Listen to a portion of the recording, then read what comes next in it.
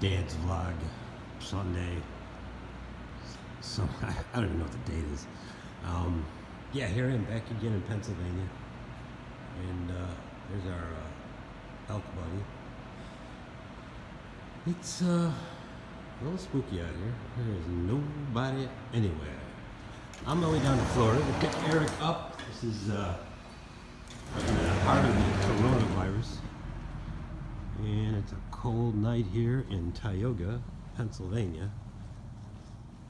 Not as cheerful as the trip as it was coming down. But, uh, yeah, a little walking deadish out here, that's for sure. You don't hear a sound. A couple trucks. Crazy. Crazy, crazy, crazy. Anyway, be safe.